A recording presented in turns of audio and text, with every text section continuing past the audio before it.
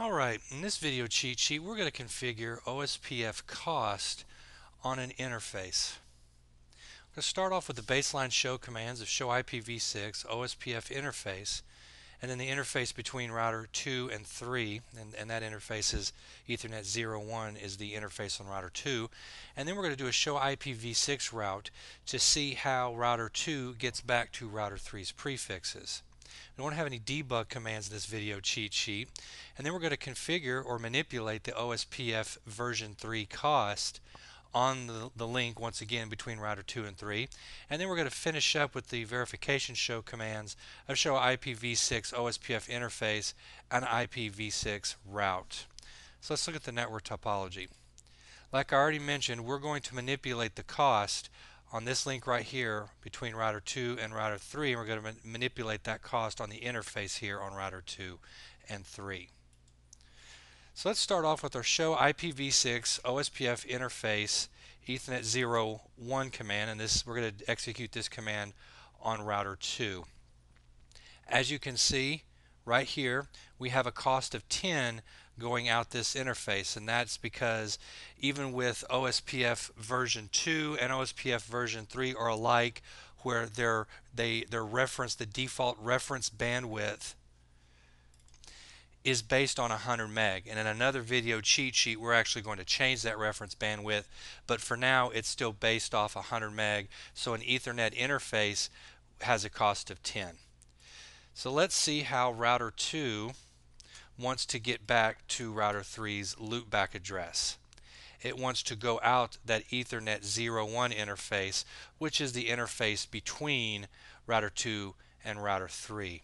And once again, I want to point out, if you haven't caught this in another video cheat sheet, that we never put a global IPv6 address on this link for router 2 and for router 3. It's only using link local addresses. All we did for this interface on both router 2 and 3 was enable IPv6 and so far everything's working fine as far as OSPF goes. So let's manipulate the cost. The way you do that is with this command right here. You say under the interface you say IPv6 OSPF cost and then you change the cost. So we're going to change it to 100. So let's go ahead and put that in. So now the cost is 10 and we're changing it to 100. So now we're going to go back and check the interface to make sure that the command took. And right here the cost went from 10 to now it's 100. See right here it was 10 and now it's 100. So the command took. So now to go out that interface, it, it basically went up 90 cost points, if you will. It went from 10 to 100. So now let's see if routing has changed and if router 2 now decides to get to router 3's IPv6 loopback address instead of going out interface 01 like it wanted to up here, right here, that's where we did the last show IP route command and it said I want to go out this interface right here. It now wants to go out this interface, which is the interface that goes over to router 4.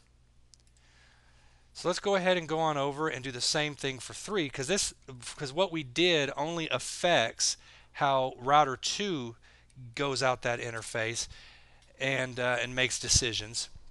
So let's look at the interface that goes back on router 3 that goes back to router 2.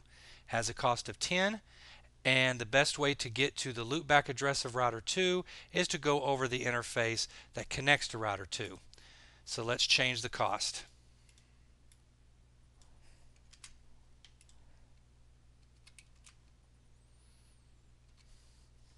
Alright, we just changed the cost to 100 just like we did for router 2. And now let's do our two show commands and see if it's changed. The cost changed to 100 for the interface, which is what we wanted. And now, instead of going out interface 02, which went back over to router 2 to get to router 2's loopback address, and now wants to go out 01's interface, which is the interface that goes over to router 4 to get to router 2's loopback address. So that is how you manipulate OSPF version 3 cost in an IPv6 OSPF version 3 network.